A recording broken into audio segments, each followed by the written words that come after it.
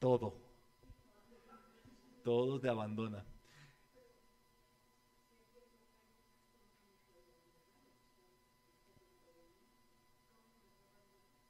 Exacto.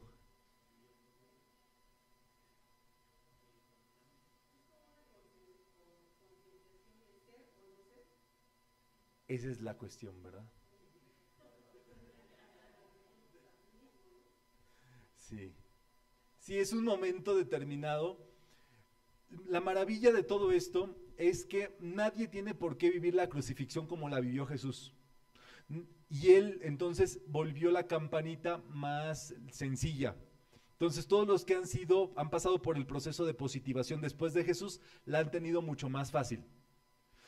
Y a quien ustedes conozcan que ya tuvo el proceso de positivación, su positivación de, de ustedes ya va a ser menos que eso.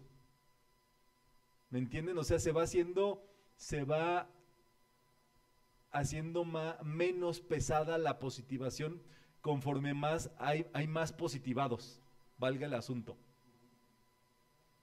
Pero te toca algo auténtico también, ¿me entienden? La crucifixión entonces representa el signo de más, positivar, crucificar es Exactamente. Entonces, cuando vean a un Jesús crucificado, es la invitación a que se positiven. Y Jesús en realidad como quiere verse es resucitado. Por eso ya existen los resurrefijos, que son Jesús en la cruz, pero ya así flotando, como tipo Iron Man, ¿verdad? La positivación, el decreto para trabajarla es mi reino no es de este mundo. Cuando te quede mal el mundo físico, mi reino no es de este mundo. Mi reino es el crístico, es el plano positivo, es el plano del amor. Eso, por supuesto, tiene un anclaje en nuestro ser interior y por eso en metafísica ustedes van a ver que está la cruz de Malta y en el centro anclada en la cruz de Malta el Cristo. Como proceso de crucifixión en el Cristo, te anclas en el Cristo. O sea, es una crucifixión en positivo, con el bien, con, con amor, sabiduría y poder. Es romper todo lo, lo sufriente, se los tengo que decir. Nadie que tenga conciencia sufriente puede pasar ese proceso de, de positivación. Por eso por eso no lo hemos hablado sufridamente, lo hemos hablado como una actitud, como una fase, como una etapa, como un momento, yo te diría de impacto, de mucho cuestionamiento, pero no, el sufrimiento ya es de cada persona. No tienes por qué sufrir en esa etapa, pues. Puedes pasártela Agustín, ¿verdad? Puedes pasártela bien. Puedes estar eh, digámoslo así, a pesar de todas las cosas que están pasando al mismo tiempo, tú, puedes eh, elegir no sufrir. Puedes pasártela gozosamente. Entonces este proceso es por eso que lo vemos en esa llama triple con ese ser interno. La positivación comprobada es cuando ya se acabaron los sufrimientos para ti. Tú pasas esa positivación y ya no hay nada por lo que puedas sufrir más. Ya, no hay nada que te pueda dañar, nada que te pueda hacer sufrir, te, te vuelves insufrible. Se acaba con la memoria personal, deshaciendo recuerdos, es el fin de los traumas. Se te acaban todos los traumas, se te acaban los conflictos, se te acaba eh, todos los pleitos familiares, profesionales, ya.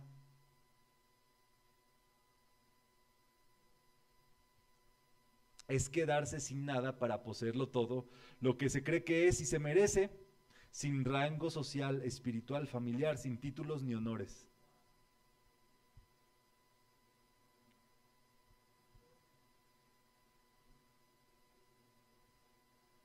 No sé qué sea más, más tremendo, ¿verdad? Pero pero ahora sí que viene esa parte de, negación, ¿verdad? Y es por eso que en metafísica, si ustedes ven, nunca afirmamos nada de la personalidad. Aquí no, no, presentamos a los facilitadores como es esto, es el otro. No, es un güey ahí que está dando charlas. Este, porque porque si ya nos, nos, vamos a quedar un día sin título, sin más y mejor de una vez. Para luego es tarde, decimos. Por eso Jesús exclamó en la cruz, Dios mío, Dios mío, ¿por qué me has desamparado? Pero lo que pasa en ese proceso, por supuesto, es que eh, puedes anclarte más en esa presencia crística, en ese reino crístico, en ese plano crístico, y vivir y trabajar desde allí, desde el reino de la causa pura del amor, la sabiduría y el poder. Entonces esa expansión de conciencia, justo la crucifixión del ser humano, si ustedes se extienden con sus brazos, ustedes son una cruz es que se positiven ante la vida superior, ante lo supremo, ante las cosas superiores de la vida. Y eso es una iniciación que nos toca, ¿verdad? Se te viene la ola encima, pero si tú estás bien puesto, no te va a mover. Hay una virgen a la cual le tengo mucha devoción, que es la Virgen del Roble. Es la patrona eh, de Monterrey, la guardiana silenciosa de, de esa zona. Y ella, número uno, eh, es, la, es de las primeras vírgenes que llegaron acá a América con, eh, con los franciscanos de la mano. Fue dejada en un, en un roble y, quién sabe qué pasó, que se les olvidó, se les olvidó el árbol en que la dejaron y pasaron siglos hasta que la volvieron a encontrar. Eh, y entonces había por allá una capilla y el padrecito, pues ya tráiganse a la Virgen. Se la traían y en la noche volvía a aparecer en el roble. O sea, de aquí soy, no me muevo. Esta es mi casa. Total, después de cinco veces que se la intentaron llevar al templo, y ella seguía apareciendo en el roble. Dijo, no, pues ya como que quiere que ahí le hagan un templo. Le hacen el templo. Y el templo se le viene encima a la Virgen. No me pregunten cómo. Todo destruido, destrozado y ella ilesa. Así, le cayó un templo completo encima y la Virgen como nueva, hasta la vez contenta y feliz. Así la crucifixión, que te caiga un templo encima pero tú te quedes contento, feliz, firme en tu propósito y ya. Y es para probar ese propósito, si era verdad, si era verdadero lo que traías. Esta cuarta iniciación es el aislamiento para probar la absoluta filiación al Cristo interno sin dependencias externas. Por eso tampoco en metafísica eh, auspiciamos nada de que pregúntale al facilitador o esto o, nada donde dependas de alguien, pues.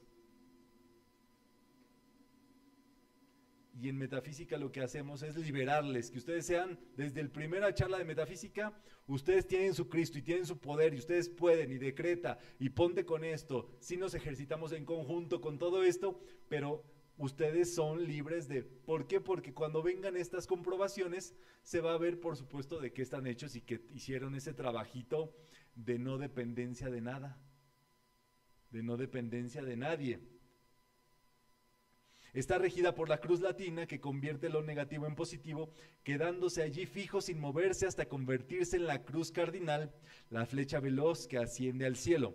La cuarta iniciación mayor es una vivencia que nunca pasa desapercibida. O sea, se queda allí contigo. Y esas son las expansiones de la conciencia que ya hemos decretado, ¿verdad? Podemos decretar. No importa cuántos traicionen y calumnien, yo permanezco fiel, firme, en silencio y perdonando desde mi ser interior. Niego y le quito poder a mi envoltura física, a mis emociones destructivas y pensamientos negativos. Yo soy el perdonador silencioso de todo pensamiento, sentimiento, palabra y acción injusta contra mí. Se lo entrego a la justicia divina. Padre, perdónalos porque no saben lo que hacen. Perdona nuestras ofensas, así como nosotros perdonamos a los que nos ofenden. Este proceso conlleva muchísima llama violeta eh, de transmutación y perdón, como pueden imaginarse, y por eso hay que decretar el perdón. Podemos decir, perdono, borro, olvido y crucifico todo agravio, registro y memoria negativa, cada mala voluntad, odio, inarmonía, mentira, conflicto y rencor de todo el historial de mi vida. Gracias, Padre. No hay ascensión sin crucifixión. Se supera todo perdonando. Es el superalo todo. ¿Quieres superar todo lo que te pase? Perdona. Si no perdonas, te van a seguir pasando las cosas, pues. El perdón es el símbolo de que te has positivado en ese ámbito. Luego de la positivación viene la resurrección, que es volver a la vida, pero sin las posesiones ni el recuerdo de lo personal. Resurges sin nada de esto. Podemos decretar la resurrección. Yo soy resucitando y dejando en la tumba toda autolástima dolor, injusticia, oprobio. Yo soy la resurrección y la vida de todo perdón y olvido, de la unidad con toda vida, de la sabiduría omniabarcante, el amor divino, la armonía infinita, la filiación divina, la devoción a Dios, el perdón absoluto y el amor compasivo. El discípulo renuncia a los tres planos, por lo tanto, es crucificado en los tres planos. No queda ninguna energía propia relacionada con el milenario pasado egoísta. Se acaba el egoísmo. Y entonces, esto lo dice el tibetano, nosotros debemos de elegir a partir de allí ya no vivir nada egoísta. Por medio de esta iniciación se dona la conciencia causal a toda la humanidad. Todo el bien que has logrado en tu vida se lo das a todos. Es la fusión con la presencia eh, de Dios, es el nacimiento de un arhat, que quiere decir valeroso o venerable. Es un paramahansa, más allá del hamsa, que es el ave victoriosa de la conciencia crística. Un santo que está más allá de la individualidad. Pero el estudiante negará esos títulos o algún otro. O sea, quien tiene la crucifixión nunca va a decir que la tiene. Porque si lo dice, es que no lo tiene, es que no, no ha pasado nada, pues. Entonces, después de la crucifixión, la resurrección, exactamente, de todo el bien en tu vida y la ascensión, podemos afirmar, yo soy la ascensión por encima de todo asunto externo, sentimiento sedicioso y pensamiento perturbador, entronizándome inamoviblemente en el magisterio del Cristo interior y permaneciendo ascendido por encima de toda dificultad, problema perturbador, obstáculo insalvable. Gracias, Padre. Pues con eso hemos triunfado. ¿Dudas si las hay? Muy bien, pues eh, eh, con eso entonces cerramos esta actividad de estudio metafísico desde eh, Ciudad de México, donde estamos llevando esta enseñanza en la Escuela Metafísica Siete Rayos. Para cerrar con todo esto, hacemos una donación que es la retribución amorosa para que todos estos estudios pues se puedan seguir dando y tengamos la posibilidad de eh, crecer, que se pague esta instalación y que podamos hacer más cosas con ese propósito. De todas formas, también eh, cuando hay actividades en línea, eh, como queda todo esto disponible, hay modos de hacer donación a distancia y demás para pagar los centros de metafísica también. Entonces, si les parece bien, vamos a tomar nuestro donativo en la mano derecha.